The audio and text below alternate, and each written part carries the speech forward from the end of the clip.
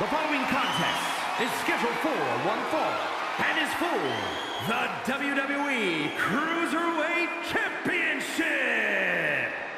The first championship of four set to be decided here tonight at No Mercy, and the WWE Cruiserweight Championship of the World is on the line.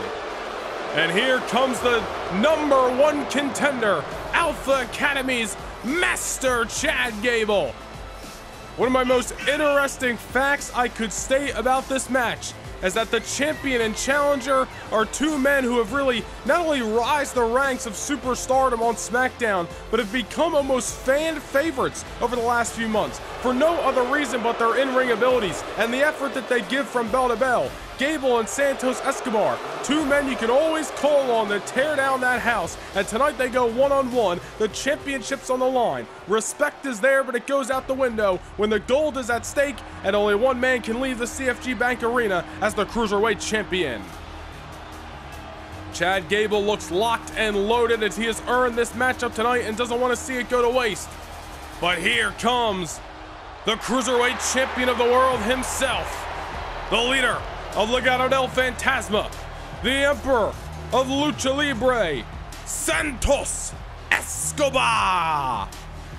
A man who is in the midst of his third reign as the Cruiserweight Champion. Held it once before in NXT, had a reign last year, 2022, and has been riding the wave this year ever since May 14th at Vengeance, where he defeated Rey Mysterio. Santos Escobar going to go back to his popularity really rising in the WWE Universe. Well, a lot of that came in his multiple month battle with the Master, Master of the 619 in Rey Mysterio, a feud that concluded back in June at King of the Ring in Philadelphia in that Extreme Lucha Rules match. Escobar has since retained the gold over JD McDonagh, has been sitting back and watching the Cruiserweight Classic. Of course, the winner of that tournament will earn a title matchup in the near future. But tonight, Escobar turns all of his attention to the number one contender at ringside in Chad Gable. These two veterans, these two experienced talents, these two fan favorites set to lock horns for the Cruiserweight Championship of the World. Let's send things down to the ring for your official pre-match introductions. Introducing the challenger from Minneapolis, Minnesota, weighing in at 202 pounds,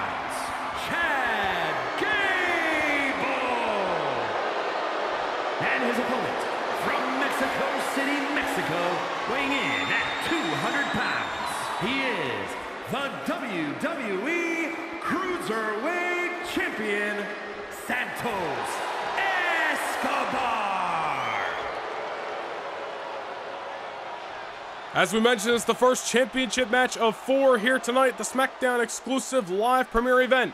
Still to come, the Women's Championship of the World is on the line, the United States title, and of course the World Heavyweight title in your main event. But that is the gold that is at stake as the champion hands over the title and the challenger takes a gaze at it. Cruiserweight Championship, a very prestigious championship going throughout the history of WWE and of course WCW, and we are in Baltimore, Maryland tonight a place that has a lot of WCW history in it, and I'm sure Chad Gable and Santos Escobar looking to do that history and lineage proud here tonight at No Mercy. So we kick off this matchup. We saw in the video package beforehand, Chad Gable earned this matchup with some recent victories over two-thirds of Legado del Fantasma. And wait a minute here, Santos Escobar. Oh, he's got his eyes locked on Gable early, going for the toe pick and hero to the outside. My goodness!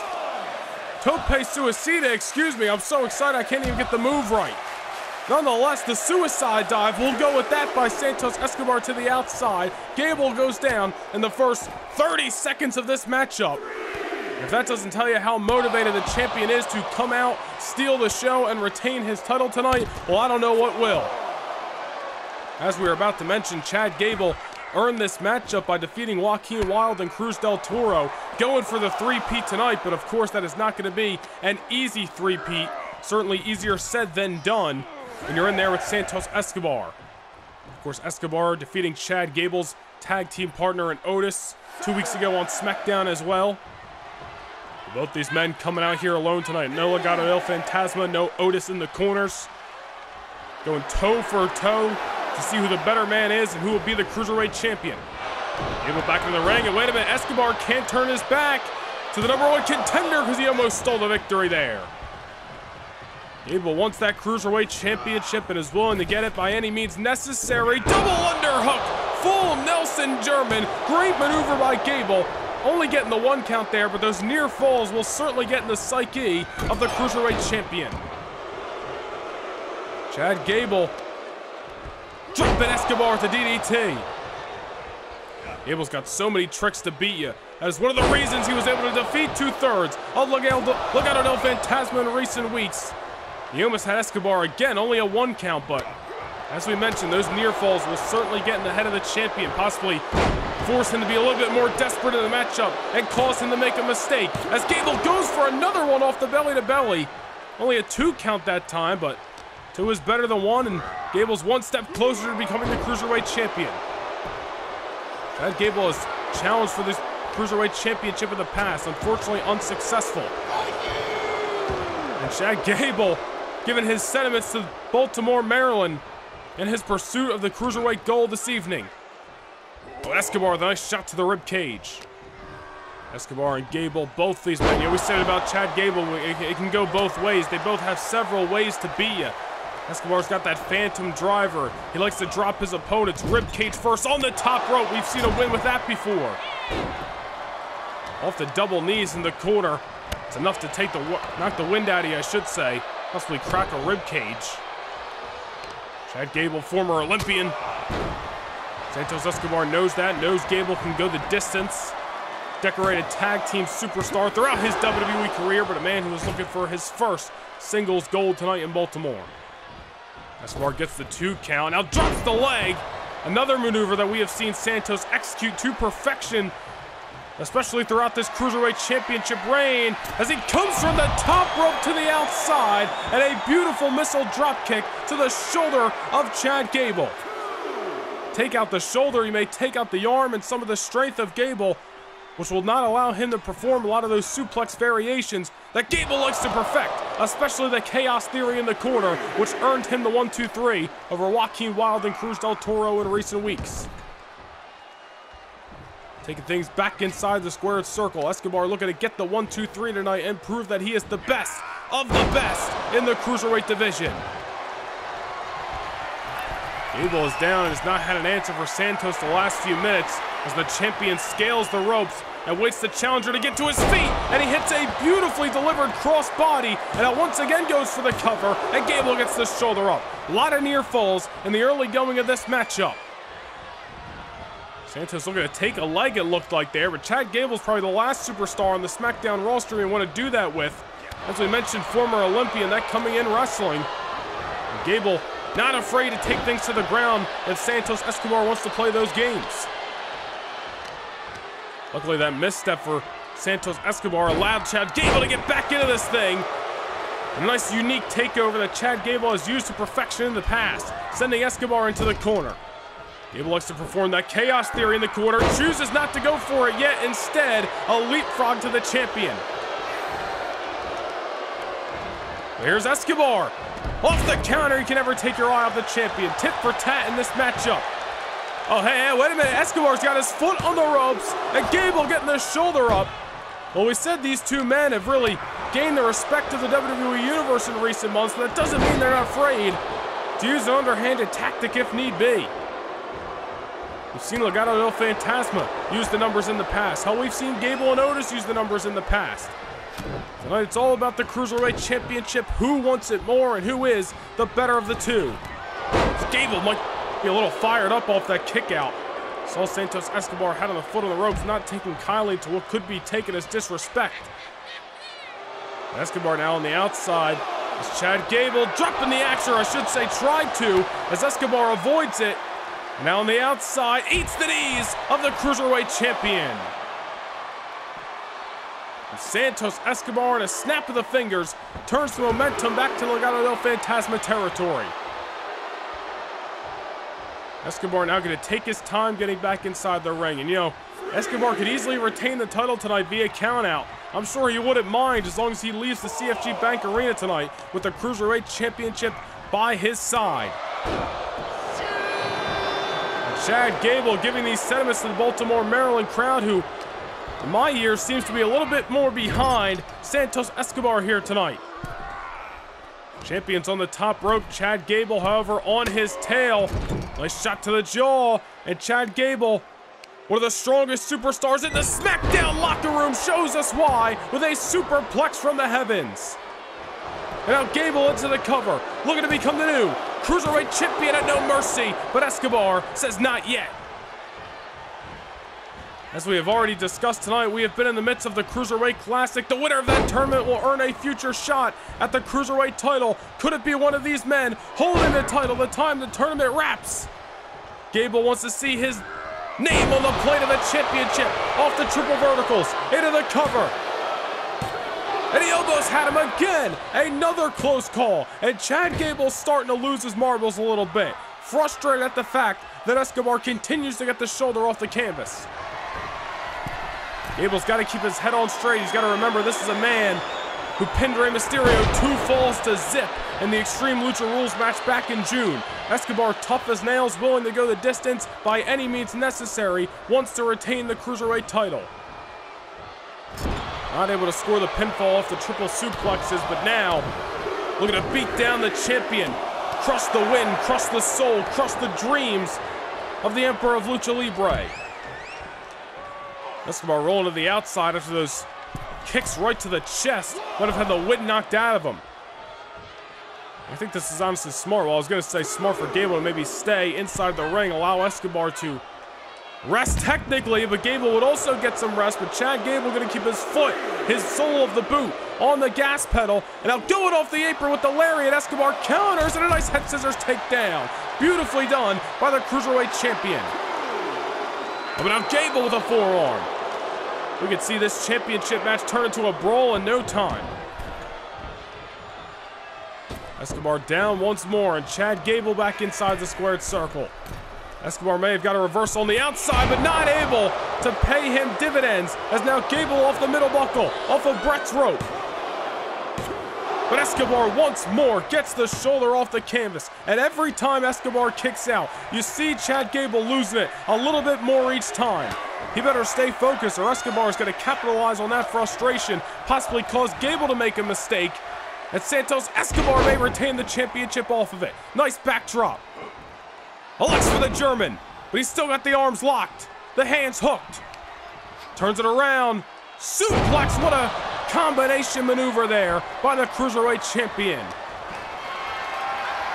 Now Escobar he's got Gable on the shoulders, fireman's carry position. We're going to talk about knocking the wind out of you. Throat first on the top rope could certainly do it. Gable in the corner and again with the double knees. Escobar is looking to take out the wind of Gable and catch him long enough for the three count. Oh, wait a minute.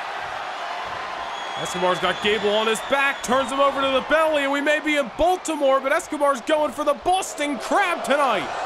A submission hold, which is a rare occurrence out of the arsenal of Escobar, may sense what Escobar's mental game is coming into this matchup, realizing he's got to pull out some deep tricks to try to defeat Gable. Only did him so well. Obviously, the matchup progresses, but he may have done some damage on the number one contender, who's trying to get rolling, but Escobar rolls to the outside, at least for the moment, to try to cut him off. We easily see this match start to go back and forth as we get into deep waters in the later rounds of this contest. Chad Gable taking Escobar down once again with that knee to the gut. And into the bridge, got one of the legs hooked. And only a one count that time. It certainly shows you the intestinal fortitude of these two superstars and their will to leave the CFG Bank Arena as the true Cruiserweight Champion of the world. Escobar is dazed, and you see Gable's fatigue starting to set in as well. Not as much enthusiasm, but Gable going for the kill! Chaos Theory! He's gonna do it! New champion, no! Escobar gets the shoulder off the canvas. The same maneuver that defeated Joaquin Wilde and Cruz del Toro is not enough to keep down the head honcho of Lucha Libre in Santos Escobar. And Gable might have just made a misstep going for the elbow off the top. And that just shows you how Santos Escobar has continued to be leaps and bounds above everyone in the cruiserweight division. The reason he holds the gold. But Chad Gable not going to give up until he hears a bell. Looking for his Rocky story. Tonight's set of in Maryland. Off the top again, Escobar might have kicked out of the Chaos Theory, but was it just off adrenaline? Does he truly have enough left in the tank to outlast Chad Gable? Runs through Gable's maneuver there. Once again, these two men just going from pillar to post. It's like two energy circuits crashing in the middle. And a tilt-a-whirl backbreaker that Eddie Guerrero would be proud of. Escobar's got to get back into this. That chaos theory might have changed the trajectory of this match. Certainly did some damage to the champion. He might have survived, but for how much longer? Gable knocked off the apron again, and the champion is on his tail at ringside. Santos Escobar, as we mentioned, could easily retain the championship via countout tonight, but Gable cannot win it out there. Gable's got to possibly try to use his surroundings to beat down Santos Escobar, take the life out from under him, but he's got to get the three count in between the ropes. The match has been thus far for the Cruiserweight title as Gable sends Santos back inside the square circle. Now heads to the top again. Gable's had about 50-50 luck taking things to the air in this matchup, and once again it does not work out for Gable as Santos Escobar met him there. Gable goes for a ride off the top, and now Escobar Phantom Driver, and it hits near the center of the canvas into the three count, and that's enough to retain the Cruiserweight Championship of the World.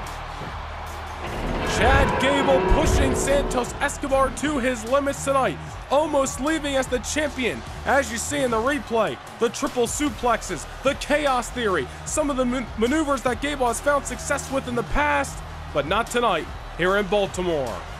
Phantom Driver for the victory for the Emperor. Here's your winner, and still the WWE Cruiserweight Champion, Santos Escobar.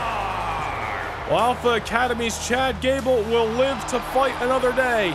But tonight, here at No Mercy, the reign of the Emperor of Lucha Libre rolls on. He has turned away some of the best in the Cruiserweight division. Now he awaits the winner of the CWC in a couple of weeks' time.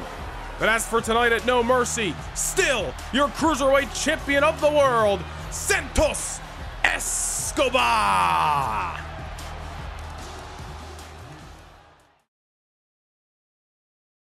Coming your way on Saturday night, September 14th. Witness the aftermath of the biggest party of the summer, SummerSlam, as WWE and Noah Nation Gaming channel memberships proudly present No Mercy. No Mercy comes to you live from the Bell Center in Montreal, Quebec, Canada at 5 p.m. Eastern Time. Don't miss championship flashes, personal battles, high stakes, and high rewards, all on the line on the 14th of September at WWE No Mercy.